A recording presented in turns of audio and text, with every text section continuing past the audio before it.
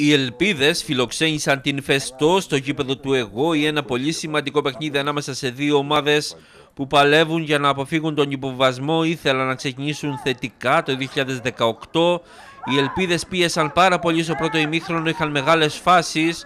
Όπως εδώ με τον Νικολάου, στη συνέχεια ο Καλαμιώτης δεν μπόρεσε μετά το κόρνερ να σπρώξει την μπάλα στα δίχτυα Φάσεις συνεχίστηκαν για τις ελπίδες, νέα διπλή ευκαιρία.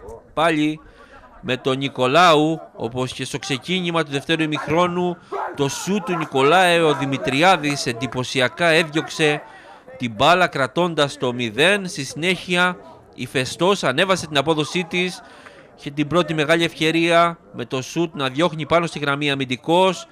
Στη συνέχεια κυρώθηκε γκολ ως offside για την ε, Φεστό. Η ομάδα των Βόρων συνέχισε να πιέζει.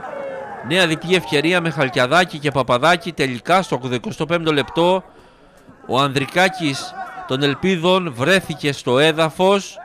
Ζήτησαν οι κυπεδούχοι να βγει η μπάλα εκτός αγωνιστικού χώρου. Η φάση συνεχίστηκε και με τον ε, Γιάννη Χαλκιαδάκη Φεστός έκανε το 0-1 υπήρξαν όμως ε, διαμαρτυρίες από την πλευρά των γηπεδούχων ότι στη φάση του γκολ δεν τηρήθηκε το fair play.